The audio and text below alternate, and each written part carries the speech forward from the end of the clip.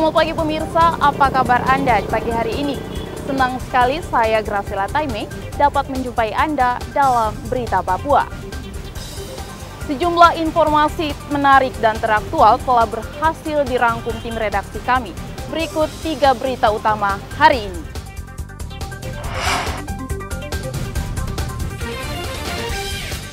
Belasan tenaga kesehatan dikirim ke Kuyawage untuk menangani warga yang sakit akibat kelaparan.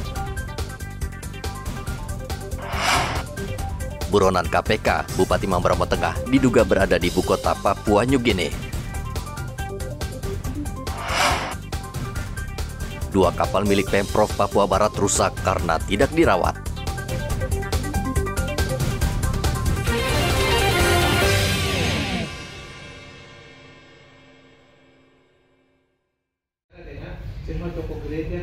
Pemerintah Kabupaten Lanijaya mengirim belasan tenaga medis untuk melayani warga yang mulai terserang penyakit akibat cuaca ekstrim berupa hujan es yang menyebabkan kekeringan di distrik Kuyawage, Kabupaten Lanijaya. Belasan dokter dan perawat diterbangkan dari ibu kota Tiom Lanijaya menggunakan pesawat bersama peralatan dan obat-obatan menuju distrik Kuyawage. Mereka akan membantu 548 warga di distrik Kuyawage yang menderita kelaparan dan sakit akibat lahan perkebunan mereka rusak dan gagal panen karena cuaca ekstrim. Pelaksana tugas Sekda Lanijaya Tendian Wenda meminta tenaga kesehatan melayani dengan baik warga di distrik Kuyawage. Karena bencana alam berupa hujan es ini masih akan terjadi selama tiga bulan ke depan. Jadi secara bertahap, eh, setelah kekeringan ini terjadi, kemudian beberapa satu bulan ke depan lagi akan turun hujan es. Itu akan menyebabkan semua tanaman yang kering itu dia membusuk di dalam tanah dan bau keluar. Kemudian setelah itu baru eh, tahapan berikutnya itu akan terjadi apa? Nyamuk ya. Nah, nah, itu baru berakhir, berakhir. Jadi itu kurang lebih sekitar tiga bulan, tiga bulan berturut-turut. Jadi ini terjadi di bulan Juli berarti Ju, Agustus sampai dengan September itu baru bisa berakhir. Jadi kita waspada di sekitar tiga bulan itu. Tenaga medis diharapkan memfokuskan pelayanan kesehatan kepada ibu dan anak yang terserang penyakit. Selain itu, tim kesehatan juga akan melakukan uji lab terhadap air yang dikonsumsi masyarakat di tiga kampung terparah, yakni Kampung Tumbupur, Kampung Luarem, dan Kampung Uwome. Hendra melaporkan dari Lani Jaya, Papua.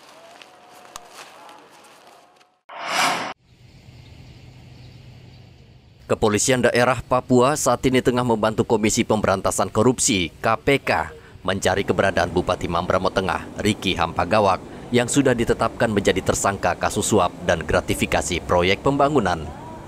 Polisi menduga Riki saat ini sudah berada di kota Port Moresby, ibu kota Papua New Guinea. Direktur Reserse Kriminal Umum Polda Papua, Kombes Faisal Ramadhani mengatakan, Riki Hampagawak melarikan diri ke Vanimo, Papua New Guinea melalui jalan tradisional. Ia kemudian menggunakan pesawat komersil menuju kota Port Moresby. PO dari KPK, eh, RHP, eh, kami memang juga terus melakukan eh, penyelidikan, kemudian kami menyerap informasi. Sampai sejauh ini informasi yang kami dapatkan bahwa yang bersangkutan itu kemungkinan besar sudah sampai di Port Moresby, seperti ibu kota PNG. Uh, memang uh, moda transportasi yang digunakan kalau ke arah sana itu dengan pesawat dan dengan sistem administrasi PNG sekarang itu memungkinkan uh, penduduk kita itu untuk bisa uh, leluasa uh, menggunakan moda transportasi di PNG karena uh, screeningnya masih sangat longgar. Menurut Faisal, polisi diminta KPK untuk mencari Riki Hampagawak di seluruh penjuru Papua sejak 6 Juli lalu karena yang bersangkutan mangkir beberapa kali saat dipanggil KPK untuk menjalani pemeriksaan. Riki Hampagawak diduga terseret kasus suap dan gratifikasi proyek pembangunan di Mambramo Tengah tahun 2013 hingga 2019. KPK telah menggeledah sejumlah tempat milik Riki, mulai dari Kabupaten Bekasi, Jakarta, hingga Sleman. Hendra melaporkan dari kota Jayapura, Papua.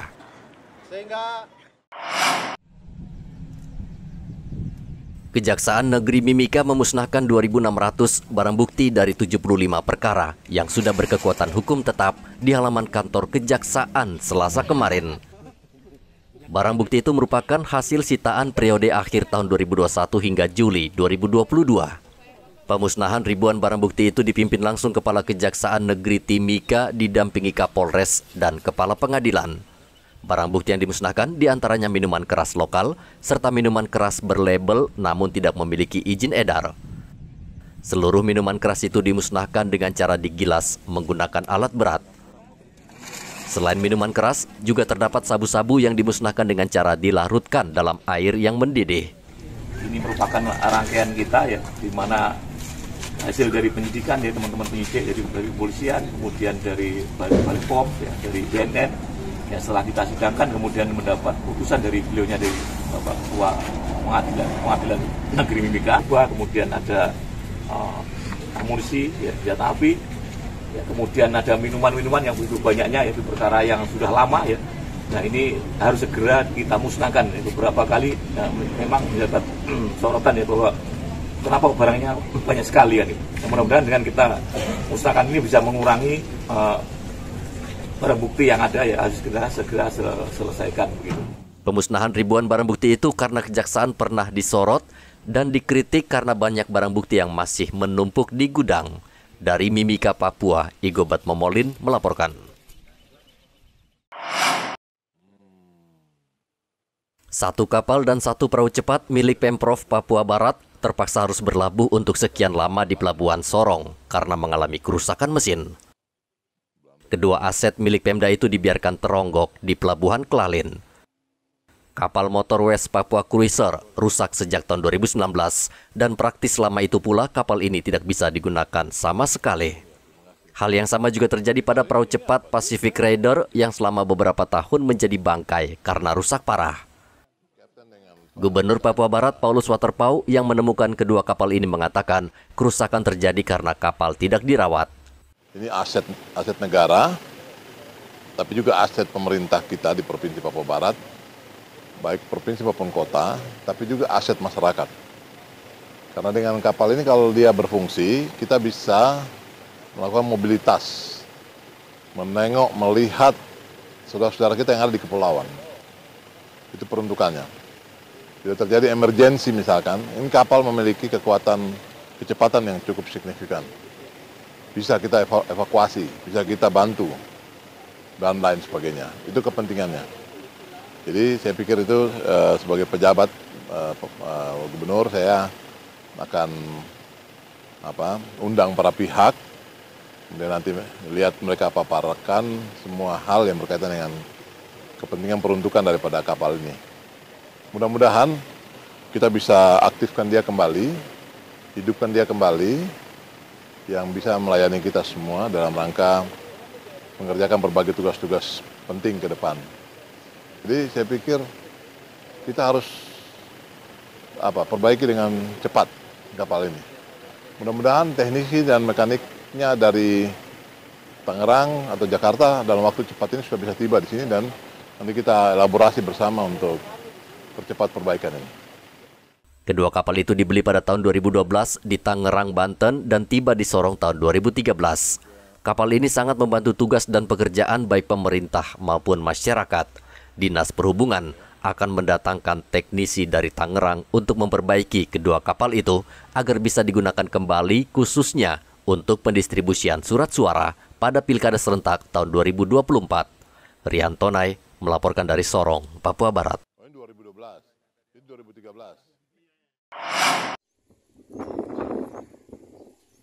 Cinta tidak selalu berakhir di pelaminan.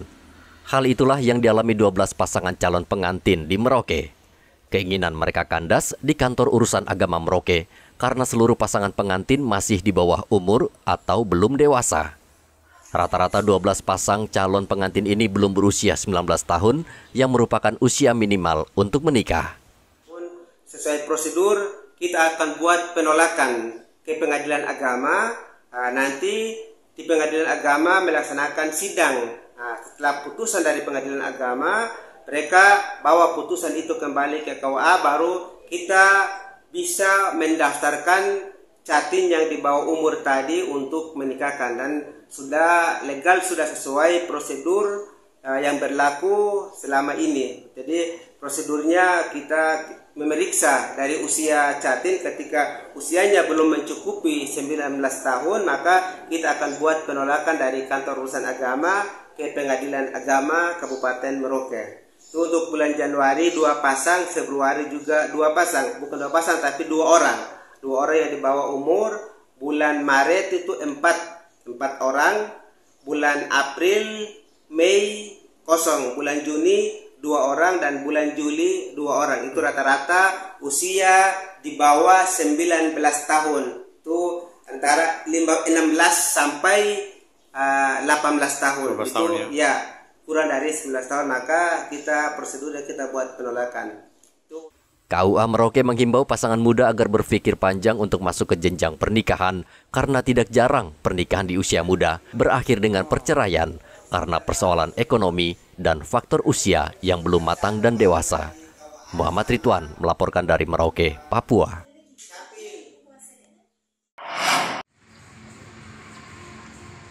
Penyebaran DBD di Merauke mulai menurun.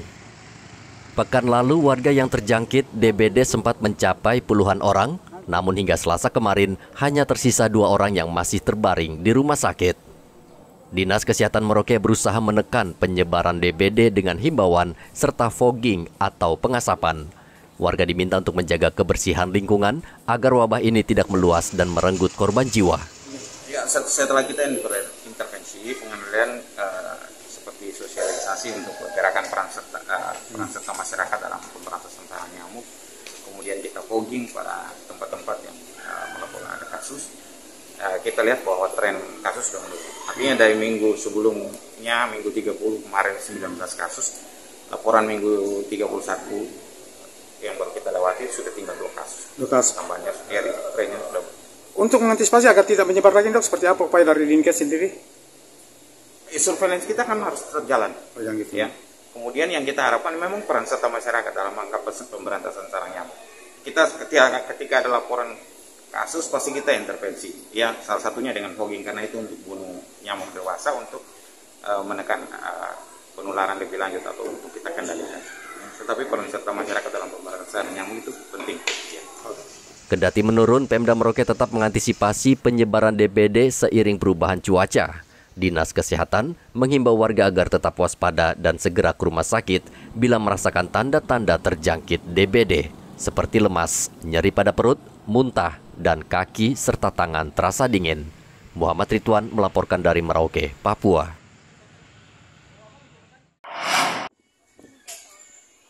Hingga saat ini masih banyak warga di Merauke yang ingin divaksin COVID-19. Mereka mendatangi sejumlah fasilitas kesehatan untuk mendapatkan vaksin dosis 1 maupun 2. Sebagian besar warga yang terlambat divaksin itu karena takut setelah mendengar pemberitaan yang menyebutkan vaksinasi COVID-19 justru berbahaya bagi kesehatan. Sekarang ini mau vaksinnya Ibu? Vaksin yang keberapa Ibu? Pertama. Pertama. Nah ini kan sudah cukup lama Ibu vaksin pertama. Kenapa Ibu baru mau vaksin pertama Ibu? Saya kan ada riwayat tensi. Hmm, Ini saja sudah tensi naik lagi. naik lagi. Ya, jadi saya disuruh tunggu lagi 15 menit. Oh gitu. Iya. Jadi memang selama ini yang pertama itu memang karena takut apa karena penyakit itu Bu? Tensi itu. Karena tensi itu kayaknya. Tensi itu.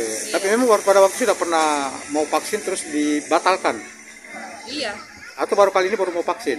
Di pasar sudah ambil formulir juga. Ah, Tapi ya tahu tensiku tinggi jadi oh, tunda ya. iya tunda. Vaksin pertama. Vaksin pertama. Ibu, kenapa baru mau vaksin pertama Ibu? Ulang lagi toh soalnya peraturannya kalau sudah enam bulan disuruh ulang lagi Tapi pada waktu itu tidak ada penyakit yang menyertai ada. Ibu, tidak ada ya. iya Jadi baru kali mau suntik vaksin pertama ya. iya Tim dokter di salah satu klinik sejauh ini tetap melayani vaksinasi terhadap warga yang baru pertama kali divaksin. Eh, di klinik saat ini masih banyak yang mendaftar untuk vaksin satu. Banyak yang vaksin satu itu karena eh, kalau ada yang lanjut usia biasa yang awal-awal mereka mau vaksin terkendala biasa eh, dengan tekanan darahnya. Nah itu sekarang juga mulai sudah mulai vaksin satu juga banyak. Terus yang berikutnya yang mau berangkat, yang mau berangkat juga yang masih vaksin satu juga banyak. Terus berikutnya yang drop out juga masih banyak. Drop out mungkin waktu pertama-pertama kita tanyakan kendalanya apa sampai lebih dari enam bulan baru datang vaksin lagi katanya lupa begitu alasan alasan seperti itu ya dok ya siap Vaksinasi dosis 1 dan 2 di Merauke sudah mencapai 95 persen. Angka ini merupakan yang tertinggi di Papua. Namun untuk vaksinasi booster baru mencapai 20 persen atau sekitar 20 ribu warga dari target 100 ribu orang. Muhammad Ridwan melaporkan dari Merauke, Papua.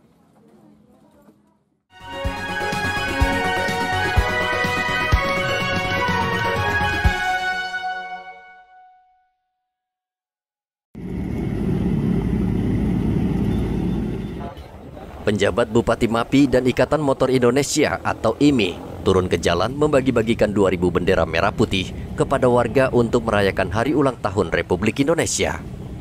Mereka menempuh perjalanan sejauh 20 km dengan sepeda motor untuk membagi-bagikan bendera di kampung-kampung. Penjabat Bupati tampak bersemangat, konvoi melintasi jalan ke kampung-kampung terpencil untuk bertemu dan meminta warga agar mengibarkan bendera merah putih. Kegiatan ini merupakan gerakan nasional pembagian 10 juta bendera merah putih yang dilaksanakan di seluruh kabupaten kota di negara Republik Indonesia. Semoga penyerahan bendera merah putih ini kepada seluruh masyarakat dapat meningkatkan rasa cinta tanah air kepada bangsa dan negara dan juga memupuk rasa persaudaraan, solidaritas, persatuan, kesatuan bangsa terutama kepada adik-adik kita, anak-anak SD, SMP, sehingga rasa cinta tanah air tetap kita pupuk sejak dini dan kita bangga menjadi warga negara kesatuan Republik Indonesia di atas tanah Papua. Untuk membangkitkan semangat nasionalisme dan persatuan, Bupati meminta seluruh warga di setiap kampung mengibarkan bendera merah putih. Dari MAPI, Igobat Momolin, melaporkan.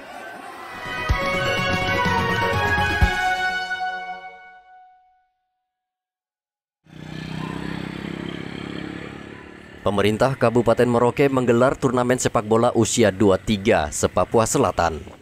Turnamen dibuka selasa kemarin oleh Bupati Merauke dengan melakukan tendangan pertama.